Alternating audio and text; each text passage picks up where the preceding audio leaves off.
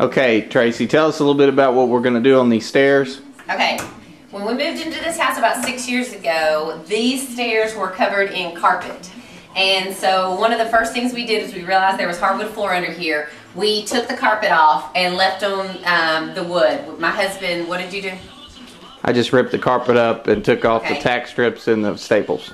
Tack strips, staples. Did you sanded it though, didn't you? Um, parts of it, yes. sanded parts of it, but anyway, we left it the original color and we just polyurethaned it. So we have been wanting to um, stain these steps a di- different color, darker color, for a very long time.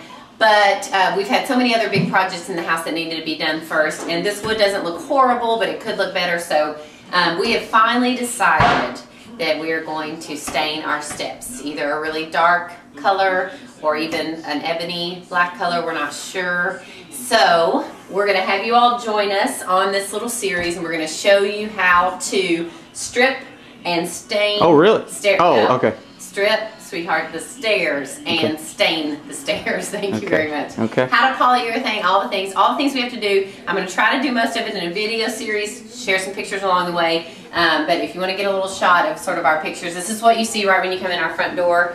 Um, these are the steps that go up. They're dirty. So we'll have to take those off, stain them, paint it, all that good stuff.